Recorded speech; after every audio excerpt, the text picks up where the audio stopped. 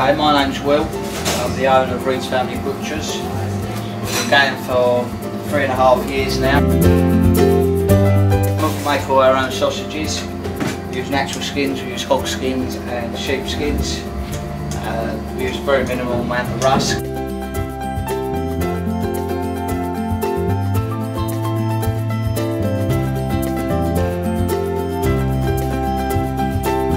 Um, we do lots of barbecue packs, meat packs.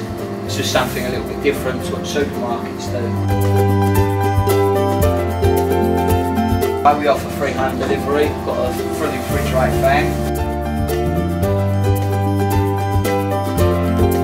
Uh, in 2015 we actually won Best Medium Business.